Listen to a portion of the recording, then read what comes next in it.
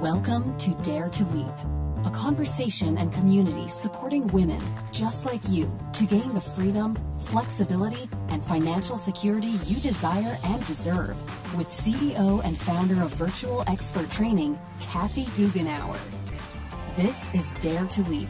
And now, here's the powerhouse, tiara wearing Kathy Goughenour. Super excited to be back with you today at the Dare to Leap podcast. Today, I am talking with Tracey Bissett. She's a financial coach for entrepreneurs. She is uniquely qualified to coach all things money, given her hands on experience as a former executive at one of Canada's big five banks formal financial education and chartered financial analyst designation is what she holds. She leads speaking engagements and is the executive producer and host of the Young Money podcast, all focused on increasing financial fitness. And I got to tell you guys, I love that term financial fitness because I love fitness. Not so crazy about financial. You know, I'm a little scared about those numbers, like many of you are. But when you put fitness with it, I'm like, yeah, I can do that um come i'm sorry got so excited about fitness tracey helps companies plan for the future especially when it comes to cash flow and we're going to dive into that today she helps them perform better than those who don't plan their cash flow those who are leading, planning, and being proactive will thrive no matter what the economic environment. And that's what I'm excited to talk with her about today. So, Tracey, welcome. And by the way, I might not have said your last name right. I I meant to ask you and forgot. I said Bissett. Is that right? Perfect. Or is it? That's perfect. Oh, cool. That's a miracle. It looked really easy. And then I said it and I'm like, oh, maybe there's some fancier. No, most people this. don't uh, pronounce it that way. So you did awesome. And uh, thanks so oh, much cool. for hosting me, Kathy. I'm excited to be here. Well, I want to talk to you about a couple of personal things before we jump into the ca- cash flow stuff that I added there on the end because I want to be sure we talk about that. Um, but the personal things I want to talk about is number one, Canada. I love Canada. So, where do you live in Canada? I live in Toronto, Ontario. Um, so our biggest city that we've got. And uh, I grew yeah. up actually though on the east coast of Canada in Nova Scotia. Um, so I have uh, traveled all across the country and lived in different parts, but I make my home in Toronto. Well, it just so happens that Nova Scotia is where I have gotten to spend time. My husband and I lived in Halifax for oh, six wow. months and we actually rented a b&b it was over the winter so we rented a b&b at peggy's cove Oh, beautiful. And I'm area. actually recording today from Nova Scotia because I've been here during a lot of COVID. So it was a little bit safer for most of the year. So that's Oh, that's so exciting. The nicest people in the whole wide world live in Nova Scotia. Oh yeah. my gosh. It literally that experience changed my life because I'm from St. Louis, Missouri, which um, you know, I love my hometown, but we have a lot of challenges with um angry people and lots of gun violence seriously and i coming from that uh, i thought everybody was angry all the time. Um, and when i got to nova scotia uh, the maritimers just embraced me. They didn't know me from adam. They embraced me made me feel welcome and i will never forget. It just shifted my whole thought process and so i just love canada and particularly nova scotia Oh, well, thank you. And a good way for those listening to kind of understand uh, what she means is if you stepped out on the street, even if you weren't at a sidewalk or at a crosswalk, um, the cars would stop and let you go. Um, they wouldn't say, no, it's not, not your turn. It's not a place to walk. They would actually stop so you could walk across the street. So that's kind of what it's like here. Yeah, well, uh, you know, my husband and I were total strangers. We didn't know anybody. We were there from October. Imagine Peggy's Cove from October to April. Most, uh, many of the places shut down, so it was sure. all like um, just the locals, places where they eat. And we would go someplace for breakfast or dinner, and literally people there would come up to us, introduce themselves to us, and invite us over to their house for coffee. Well, in St. Louis yeah, somebody, nobody's going to come up and introduce themselves to you, but friends might say, come over for coffee. They don't really mean it. You never go. So we, of course, didn't go because that's what we're used to. and a couple of nights later, knock, knock, knock on our door. And there were the people that asked us for coffee. They said, You didn't come by. So we're here. And they brought a pie. Oh, lovely. so I was just like, I Yeah. love this place. They mean it It- when they say it. It's not like that in all of Canada, though. In Toronto, that doesn't happen so much, but uh, definitely in Ah. Nova Scotia, it does. Well, so that was one thing I wanted to make sure we talk about personally. And the other is I saw a golden retriever on your website, and I have three golden retrievers. That's my girl, Rosie Tiger Lily. So she's my best Oh. buddy. We're a therapy dog team during non COVID times. So we usually visit Oh, once a week with wow. seniors. Um, so yeah, she's a, a great doggy. Wow, they are so special. Um, Mhm. I have a 14 year old who has lived four years longer than they thought he would. He's had epilepsy since he was four. He got hit by a car four years ago, had all kinds of complications from that. And this morning, I watched him groom with his tongue the Mhm. head for like 15 minutes of my five year old golden retriever, who he loves and adores with all his heart. Oh, sweet. He Yeah, watches out for her so much. Rosie's Yeah. five, so like your younger one. Oh, yeah, and- Molly, but she has has epilepsy too, like your older one. So Mm. Oh, I'm so very sorry to hear that. complicated little doggies, um, but wonderful. Yes. life is so much better having them. Oh my gosh, I know. Um, have you been able to get her epilepsy under control?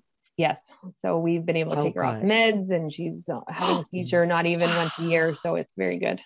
Oh, that's amazing. That's Yeah. amazing. Yeah. Um, we weren't that lucky, but we were able to get it under control with meds. And his seizures have gotten not further apart, but the the actual Severity. episodes have lessened. Oh, good. um, because they used to be huge and now they're it, sometimes i don't even notice and all of a sudden i'll feel a little shaken i'm like oh my gosh he's having a seizure um, but at 14 you know we Those are couldn't bonus years. Yeah. more. He, they really are and he's a really happy boy so um, well thank you for sharing that and anybody if you if you think life is good with a doggy uh, or you're wondering go for it i love dogs and you have two what's your other one this one, no, I just have one. So there, Oh, I just have two one. with I'm me sorry. right now. We're looking after my um, brother's puppy. It's a cocker spaniel. So she's uh, very energetic because she's only five months. So it's just a temporary visitor. We've got a dog coming for a visit this weekend, and so I understand. Yeah, yeah, it's I will, it's always uh, a treat. we'll give a shout out to the listeners though to make sure if you're getting a dog you do the budgeting um, because my my rosie has been extremely expensive and we're just uh, recovering off a, a leg surgery she ruptured her knee ligament so uh, get some No. insurance or ha- or be saving up because doggies can be expensive Yeah.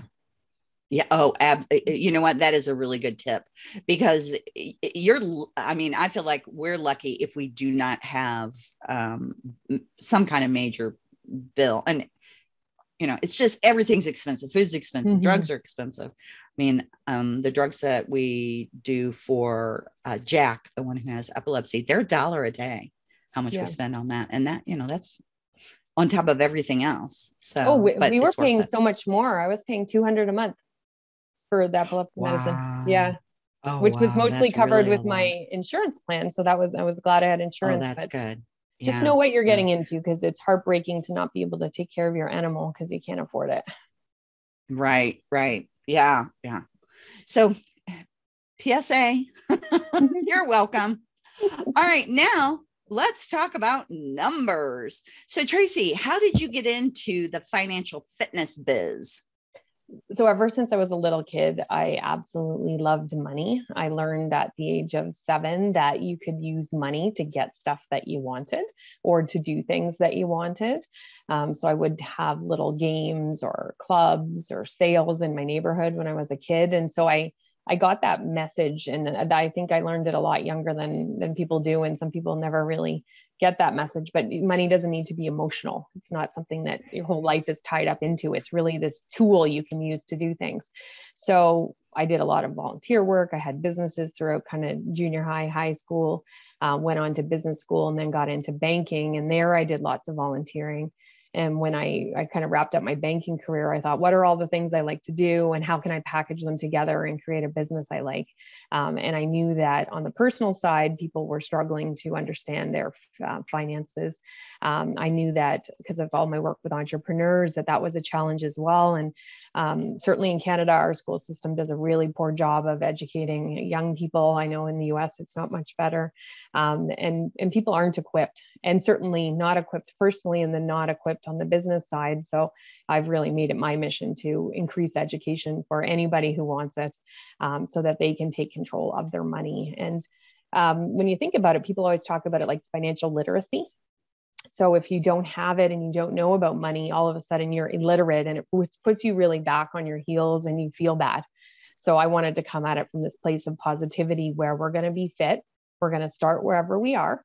So just like the physical fitness that you're so fond of, Kathy, we might be taking that first step off the couch. We're going to walk around the block. Maybe we're going to learn about different kinds of bank accounts. Or we might be farther down the spectrum of, of fitness. And so we're going to train for a marathon physically we could be um, learning things to become a more sophisticated investor. So we're all at different places. And if we we try and do one thing every day take imperfect action we can certainly take control of our financial fitness and become better than we were yesterday. Well that makes me feel better knowing that you can take one step a day because uh, and, true confession here and you've probably heard this many many times tracey but uh, financial fitness was the last thing that I was thinking about when I started my business and as my business began to grow. And fortunately, I had coaches, business coaches, who said, uh, if you don't know your numbers, you have no idea what your business is actually doing. And even after that, I kept hesitating. So, anybody that's like me who's like, uh, those numbers scare me, what are like the first couple of steps that you recommend them taking to start learning the, about their numbers, knowing their numbers? Um, first of all, realize it's not your fault. So, like I said, nobody taught you. You created your business because you're excellent at whatever you do. And so that's where you're starting. So, we kind of shedding that baggage up front. Maybe it's oh, thank you. Your, maybe it's looking the burden just account. lifted. Yeah. Uh, maybe it's looking in your bank account if you have financial statements looking at them but just starting to do something. And the easiest way to start something is to make a new routine set aside 30 minutes a week put it in your calendar make yourself do it find people to help you. You don't need to do it alone. Um, two of the biggest issues I see are that uh, when it comes to kind of stepping up and taking responsibility, um, one is if I just work really hard, it's going to work itself out. So I don't need to. So kind of head in the sand. Or I've delegated that to the accountant and the bookkeeper, and I don't need to be responsible and absolutely work with professionals to support you but at the end of the day you're still the ceo of this business whether you're yourself or you've got a team and you need to be accountable for the numbers so you can drive ahead to hit your goals it's not not about knowing numbers for the sake of the numbers it's about how does it impact your business and and lead you to where you want to go with your goals mm, okay so um at what point in a business, a business that you're starting, okay, let's say we're just start I'm somebody that's just starting my business. I'm getting it going.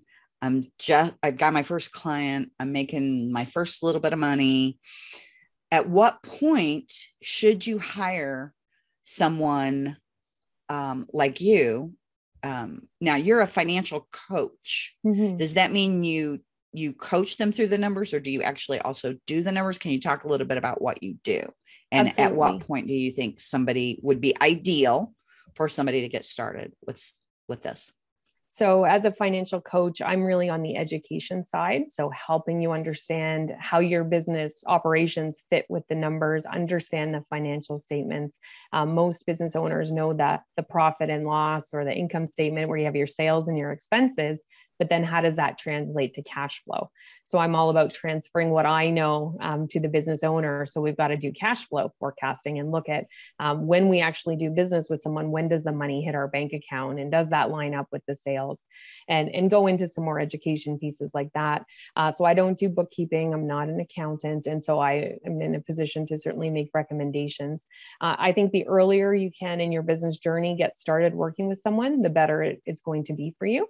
Um, but it really depends on your uh, budget. Um, sometimes people are leaving corporate careers and starting a business, and so you might have a bit more of a budget. Um, but if you're just starting kind of out of school, that may not be the case. So the earlier you can do that, the better. Um, but there's no shortage of resources if you don't have the means to get started with a coach. There's podcasts, there's books, there's YouTube videos, um, and lots of them you can find on on even my site, um, so that you can see different things that can help you, but not to be afraid um, of asking questions. And some people will say, "Well, I'm going to get a bookkeeper when I when I get a little bit bigger." why not set up properly at the beginning if you're a small company you're not actually going to pay them very much because they won't have very much work to do every month so start your books off properly. If you're really at the idea stage, I'm a huge proponent of doing a business plan for a couple reasons. One, you want to make sure that your idea is something that you can actually sell, that people will pay money for, and you can actually make money from. Um, because sometimes we have ideas and we think we're going to sell it to somebody and it doesn't work out. So take the time to do that market testing, but then also to work through uh, from the numbers standpoint your pricing so that you can make sure you're going to make money off of what your plan is.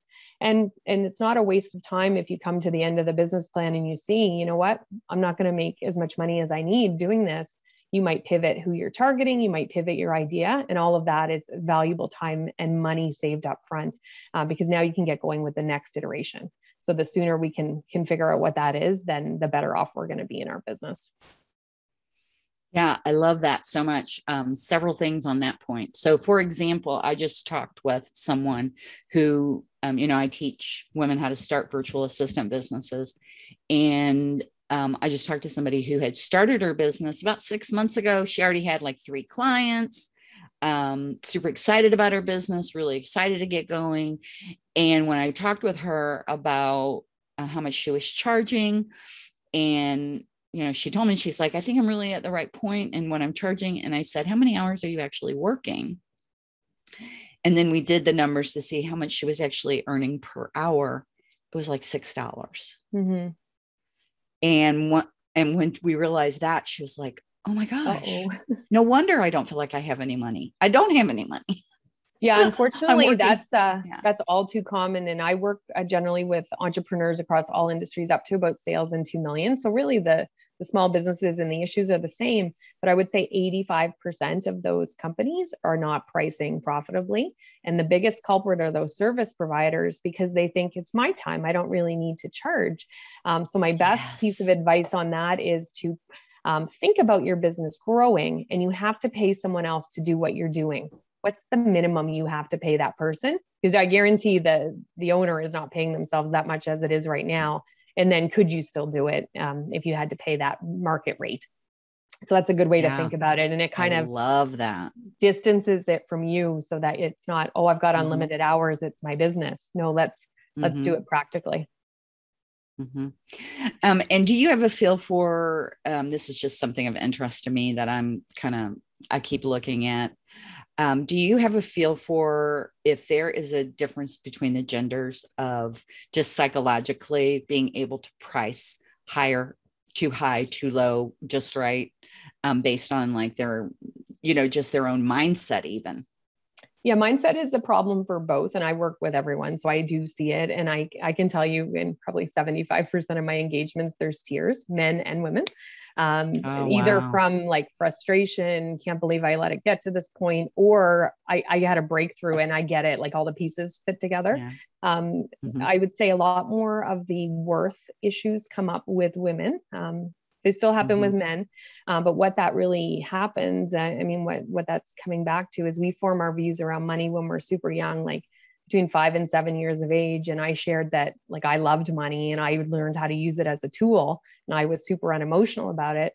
But whatever is going on in your household when you're that little kid, that stays with you. That's your baggage. That's your money story. So if there was yelling, if there was going without, if there was doors slamming, whatever was happening stays with you.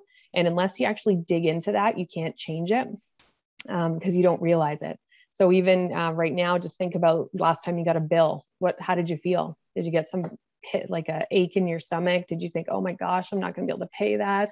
Um, and you can certainly change your mindset around money, um, but nobody's going to pay whatever price you tell them if, unless you're confidently talking about it and articulating the value and women are are known for just undercutting themselves and so if you actually do the legwork with your business plan validate who's going to be your customer and know that you are providing something of value you can stand a lot stronger in that and it takes practice and you're going to have to to keep uh, reassuring yourself and, and stand behind it. But nobody's going to pay for something if they don't see the person is confident uh, in what they're offering. Oh, I could not agree with you more because um, I have literally experienced multiple times where I knew exactly how good um, some of VA was at what service she provided. And I referred her to a client she had a conversation with that client. The client came back to me and said, not going to hire her because she doesn't seem confident in what she does.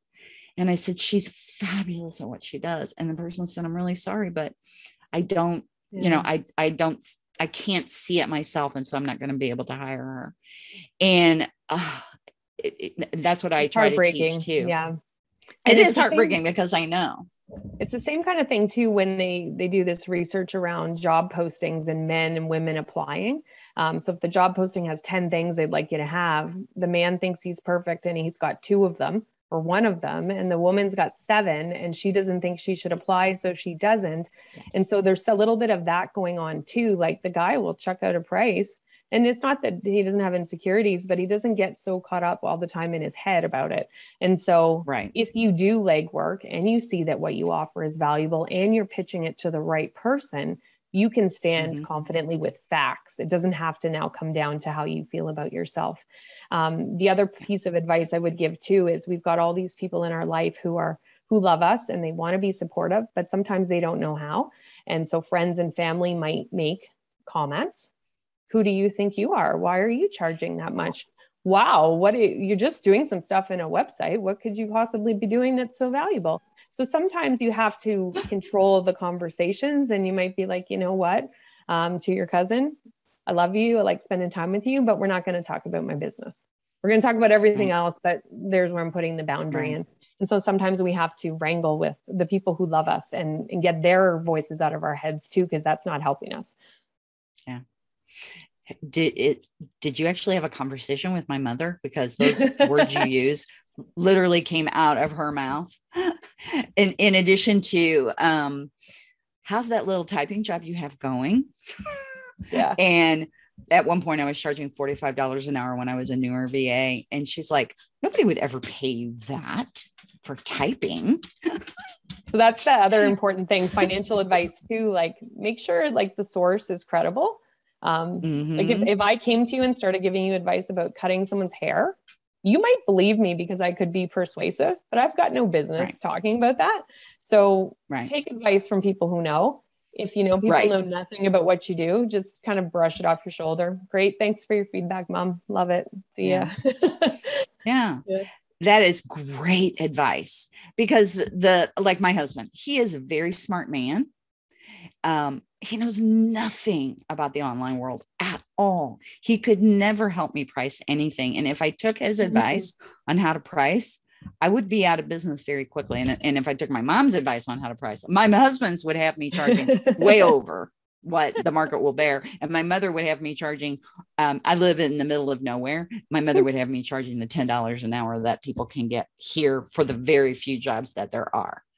So, really good advice. Take uh, somebody like you, Tracey, who you're an expert at what you mm-hmm. do.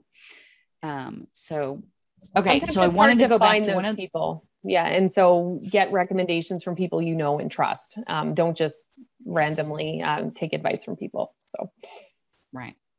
I like I like to personally I like to work with people who have already done what I want to do. So they've mm-hmm. already gone through it. They've made the mistakes potentially. They've made the money I want to make, and they can guide me yeah. to where I want to go. So, um, like you, you've helped many people, many entrepreneurs become yeah. um, businesses with $2 million in revenue. Yeah. So, one of the other things that you mentioned was the money story. Do, as a financial coach, do you help people overcome that? Is that part of what you help them do? I do if they want to go there. So not everybody wants okay. to, um, but um, certainly okay. if I'm hearing them say repeated things that I know is really tied up in the emotion of it, um, they would never pay that. Oh, I couldn't do that. Um, then I'll start digging into would you like to explore that a little bit further? Can we talk about that?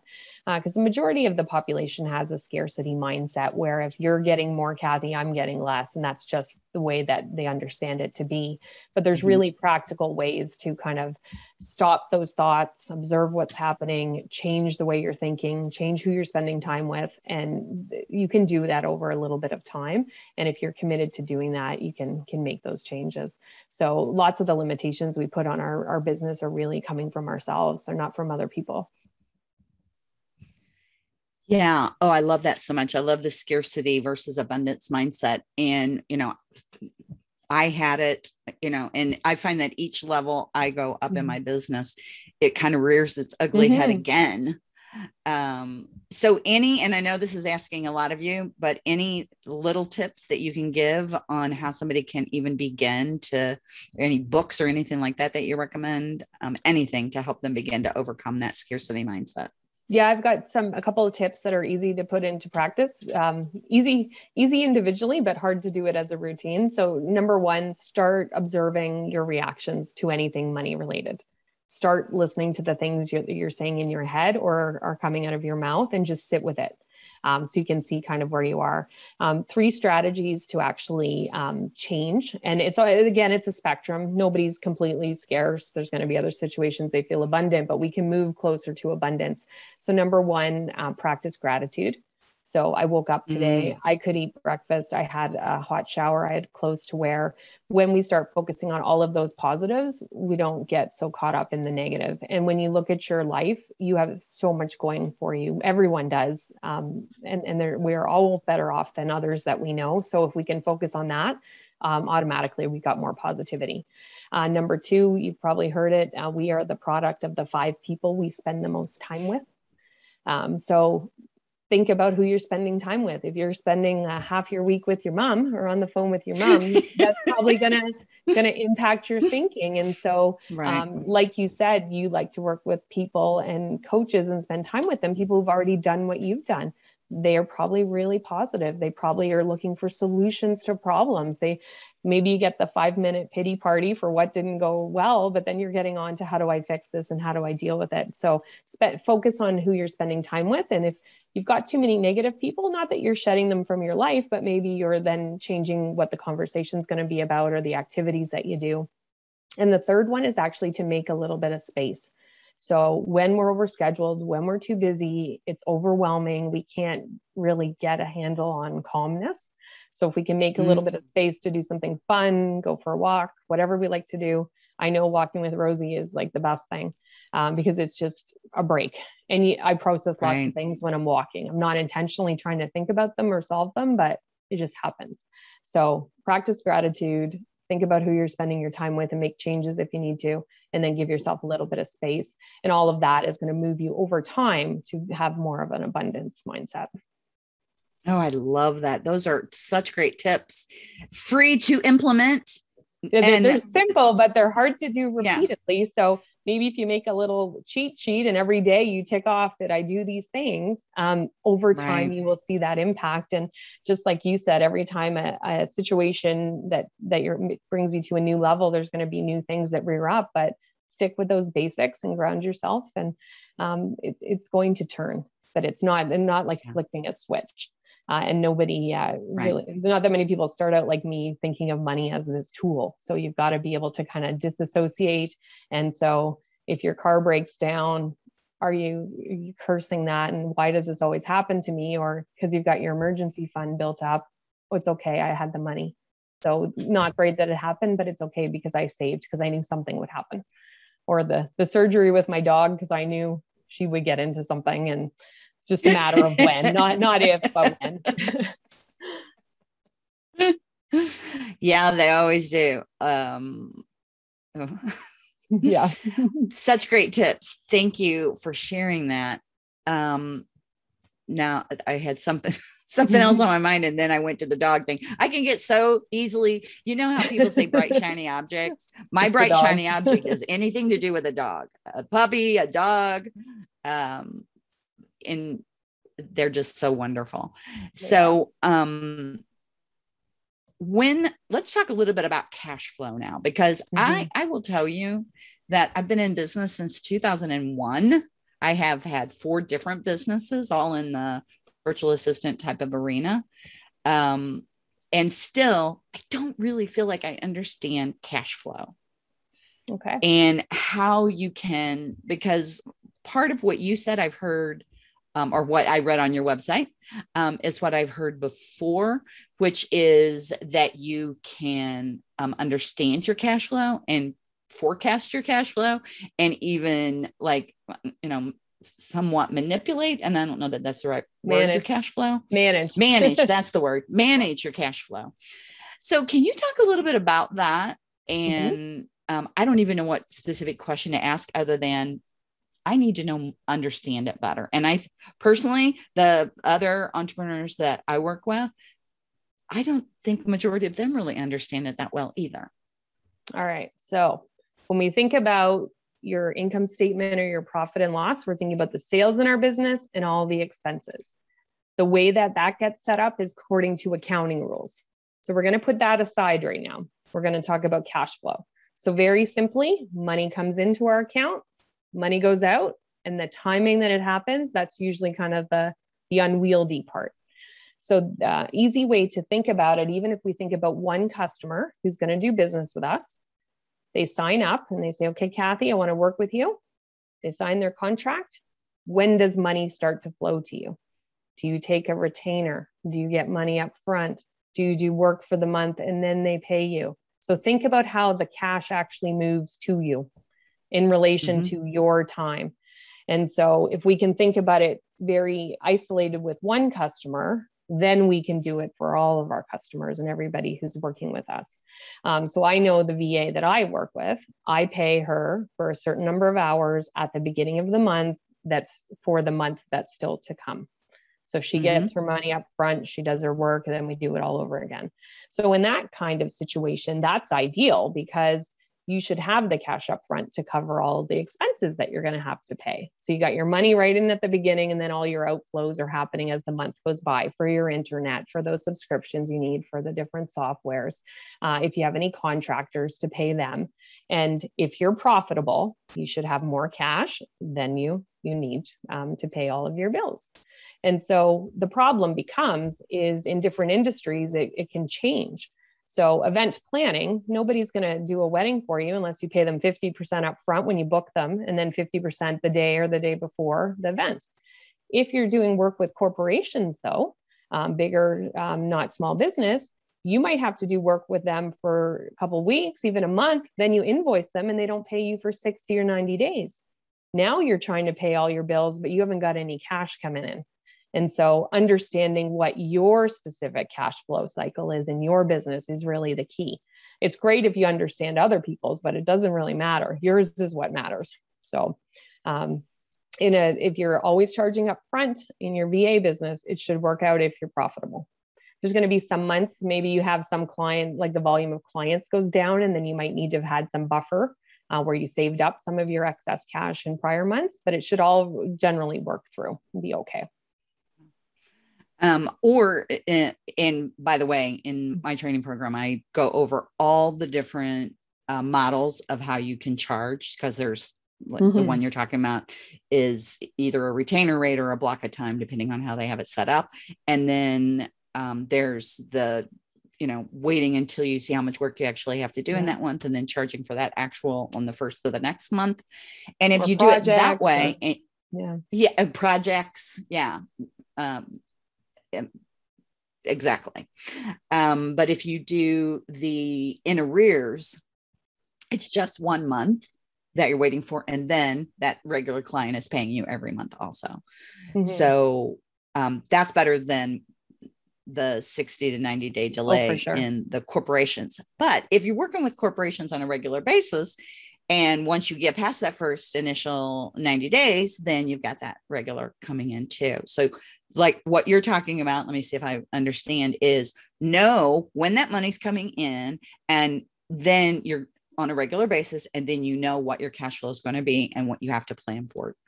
Yeah, if you that. think about it in an Excel spreadsheet at the top of the sheet, you'd have what are we starting with? So, um, we'll talk about well, the first of the month, we have this much in our account this much is supposed mm-hmm. to come in during the month and this much is supposed to go out what's the number at the mm-hmm. bottom when we add all those together and so mm-hmm.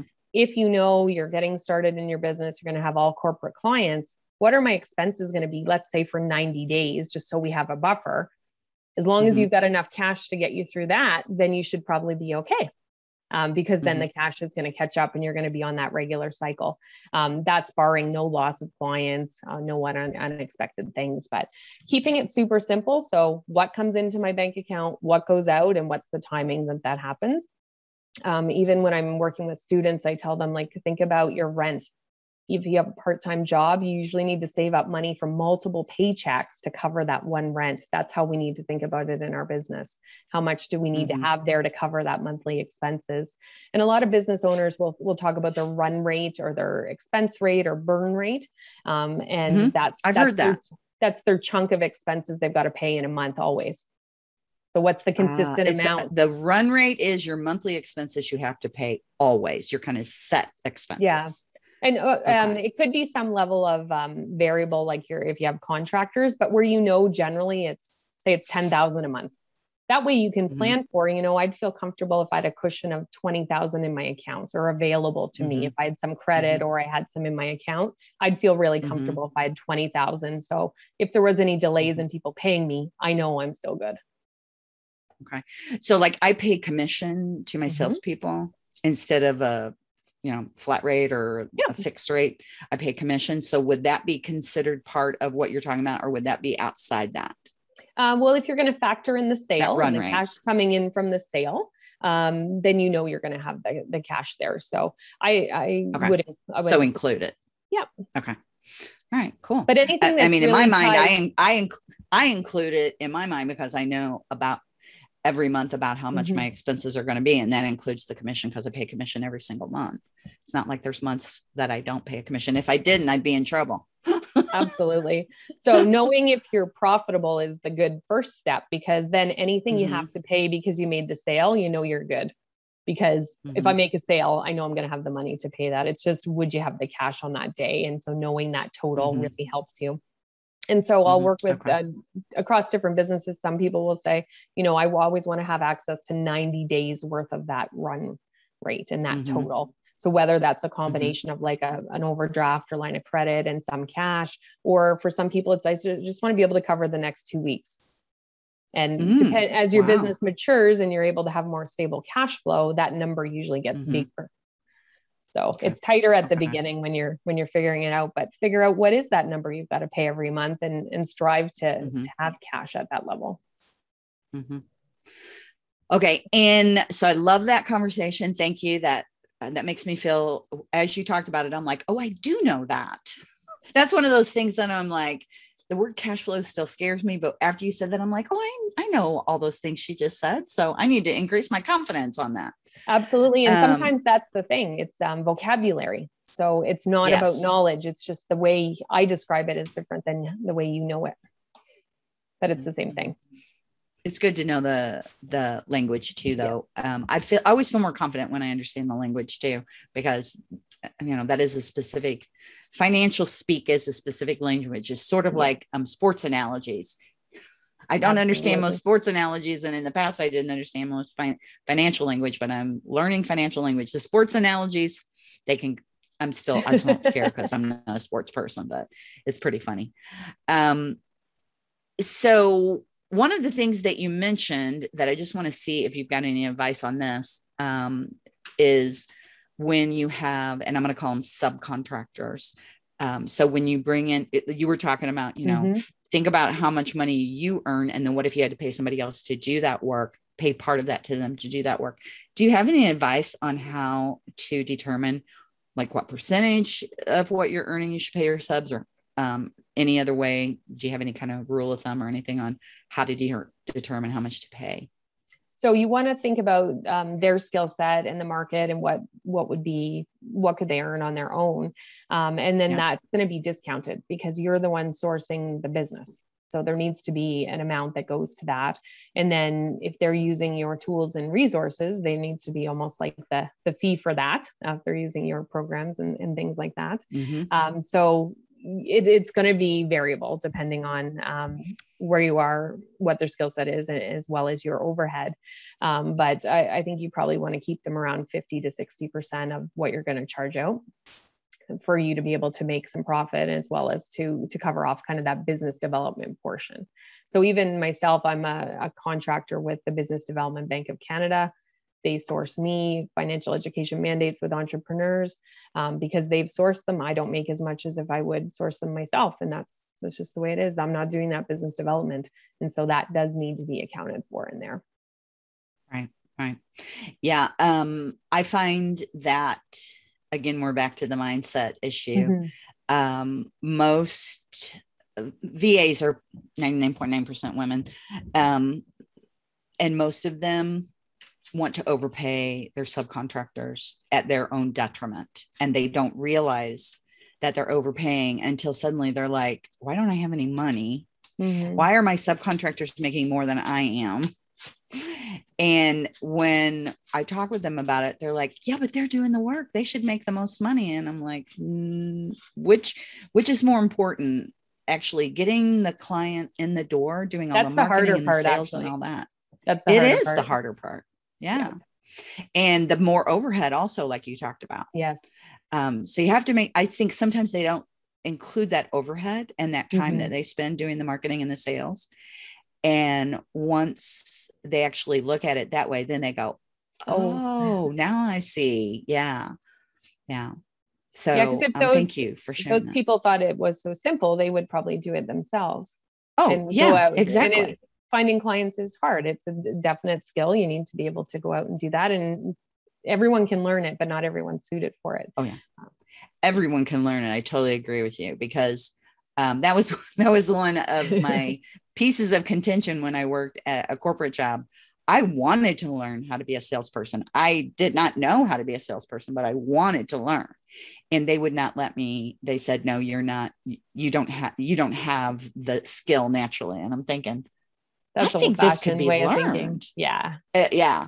And I have indeed learned it. And I'm so glad I did because, Tracey, one of the things that I feel really comfortable with when you talk about all this financial stuff and everything and the abundance and the scarcity is once you know how to get clients whether mm-hmm. it's you know working with somebody as a subcontractor so you can get clients that way or getting them yourself and especially getting them yourself no matter what happens you will be okay yeah. because you can pivot to even if like for example in 2008 um, in the us the real estate market tanked and i had 70 real estate agents as clients at that time in my va business and i went overnight from 70 to 20 mm-hmm.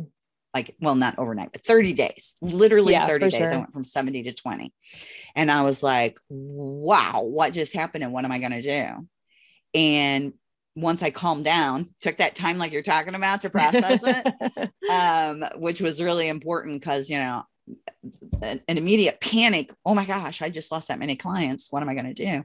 Then I went, oh, I still have all my skills. I still know how to do this. I just need to find a new target market.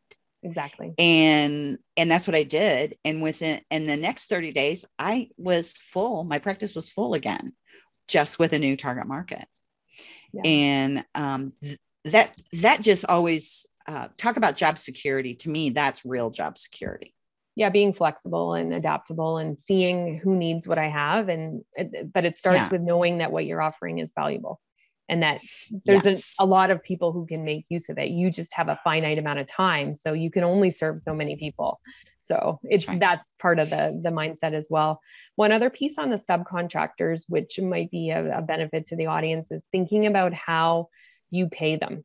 So if you know you're getting paid in 30, 60, or 90 days later, maybe there's clauses within the agreement that they don't get paid till you get paid by the customer. And so thinking that through, and it's important to have those conversations up front before somebody starts working with you. You don't just do it to them. That can't can't be the way that it goes. But if you're outlaying every two weeks, but you're not getting paid for 90 days, um, is that really how you want that to happen? And that comes back to cash flow but important thing to think about when you're you're setting up your your work with your subcontractors. Thank you so much for saying that. That is really important. That is really important. Yeah. So tracey oh my gosh i could talk to you all day long. Um, but we are coming to the end of our time. So could you talk a little bit? I if if, if others are like me i'm just like i need to learn more from tracey so if others are thinking about that, uh, tell us a little bit about the type of clients you like to work with and then how they can get in touch with you if they want to find out more about working with you. Absolutely. So I love working with clients who know they want to take control of their financial future. They are action takers. They know they got to make a change, and whatever level of knowledge they've got is okay. And I work across all industries with men and women. Um, doesn't matter where you are from a geography standpoint, and it doesn't matter what industry you're in. Uh, all of that works well with me. Um, sales generally up to about two million. Um, so you're up for the learning, you're, you're ready to roll up your sleeves and do the work and, um, and, and, it's going to work out well. Um, so that's the other thing too. It's important to be really kind to yourself when you're on the financial fitness journey because you're going to have really great you're going to have a great week where everything goes well and then you're going to step off the path and have some missteps so have patience with yourself to get back on track uh, i do have a gift for your audience um, because i know some people are probably Woo, i love a gift people are probably inspired to get taking action. And so I've got a money meeting agenda. So you can download it right away and get started. So you can grab it from cashcoach.biz. And the first meeting might be just looking at the money meeting agenda. But like I talked about, carve out some 30 minute segments in your calendar once a week. Start making your, your money and your finances in your business a regular part of your routine, just like sales, just like client delivery, marketing, all that kind of stuff. So, money meeting agenda at cashcoach.biz. Um, that'll take you to my website later. And if anybody has questions or comments, would love to hear from you on LinkedIn. So, Tracey has an E and Bissett has two S's, two T's. Fabulous. And the money meeting agenda that you can use during that weekly 30 minute session mm-hmm. you were talking about. Is that what Absolutely. that's for? Yes. I love that. Because when you were saying have a 30 minute meeting on this, I'm thinking, what am I oh going to do in that? yeah, I don't, am I just going to look at these numbers and go, what, what are they? so I love that. Thank you so much for providing that. That's a wonderful tool. You are welcome. And I also love that you can work with anyone, no matter where they are geographically. Yes, that's the fun part. Uh, and I love working um, in all different industries. It's really exciting for me to see what people have created out of nothing. And there's so many inspiring business owners out there.